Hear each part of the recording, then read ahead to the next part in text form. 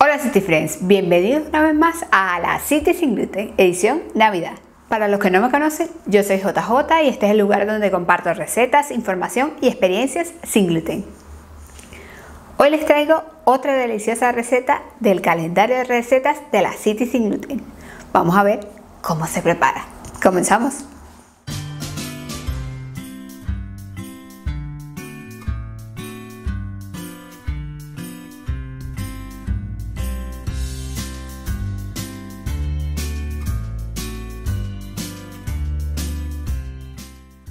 Ok, esta va a ser una receta rápida para cuando no tenemos tiempo y necesitamos preparar unos canapés súper rápidos. Comenzamos. Para la primera crema vamos a necesitar 300 gramos de garbanzos cocidos. Puede ser que lo compremos en el súper sin gluten, por supuesto. Puede ser que, qué sé yo, lo compremos al súper, lo hagamos, lo tengamos en la nevera. También le vamos a agregar una o dos cucharadas de aceite de oliva o el aceite vegetal que tengamos y un poco de agua. Vamos a batir en una licuadora de brazo, de mano, como tengo yo aquí, o una licuadora de las otras de vaso. Pero no este vaso, sino el otro vaso.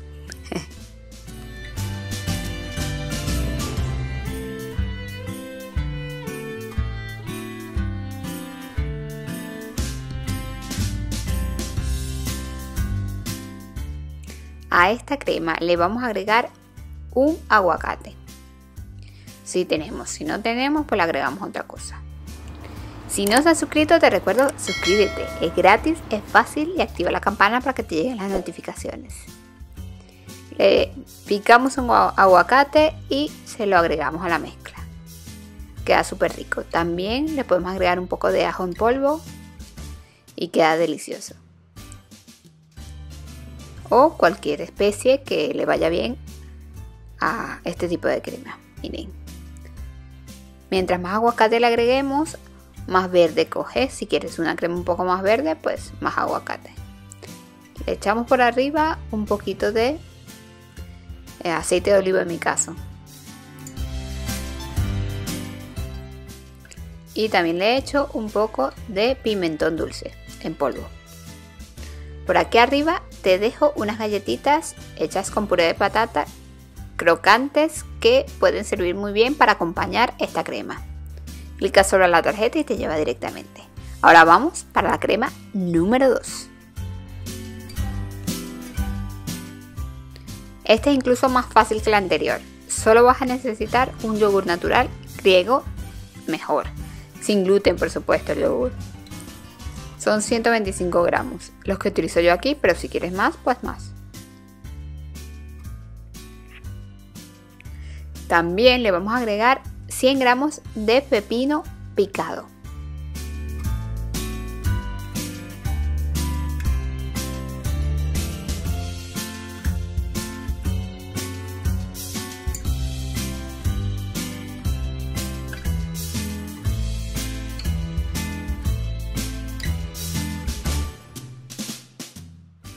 Y un poco de hierbabuena. Si yo lo tengo así, pero si tú lo tienes la matica, mejor todavía.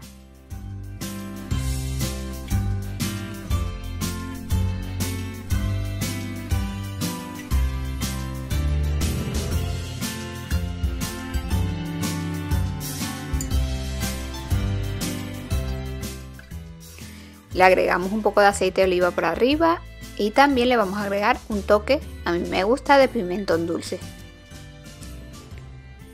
O paprika, también lo llaman. Estas lo podemos acompañar por unas chips de garbanzo que se hacen súper rápidos. Aquí arriba te dejo la tarjeta que te lleva directamente a la receta. Aquí yo le estoy dando diferentes formas para que tenga en el plato una forma muy bonita. Y lo llevo a cocinar.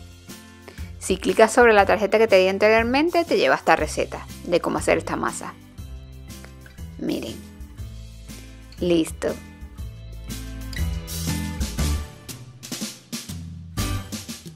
Y ya está, así de fácil, así de rápido. porque necesitamos, a veces no tenemos tiempo y necesitamos recetas súper rápidas que nos saquen de un apuro.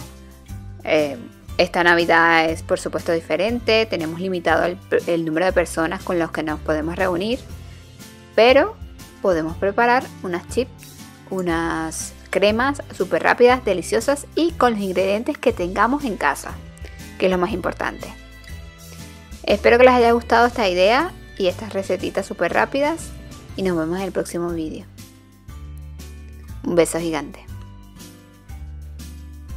Ah, por cierto, antes que se me olvide, muchísimas gracias a todas estas personas que me han escrito, que han compartido las recetas, el calendario con otras personas. Muchísimas gracias porque ayudan al canal a crecer, a que otras personas que necesiten información sobre las recetas sin gluten o recetas sin huevo o sin lactosa puedan ver que aquí pueden encontrar una variedad de recetas. Muchísimas gracias. Ahora sí, nos vemos mañana. rounds we go